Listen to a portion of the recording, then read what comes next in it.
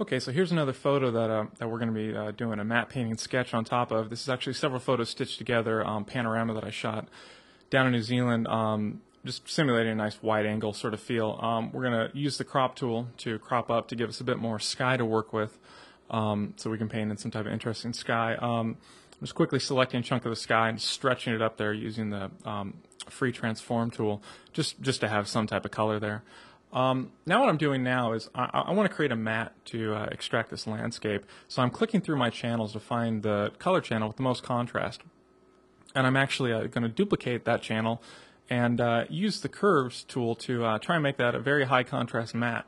So I essentially don't need to go in there and, and paint out or you know use a little lasso tool to um, to extract this landscape. So by playing with the contrast here in curves, I just used Command M to uh, bring that up.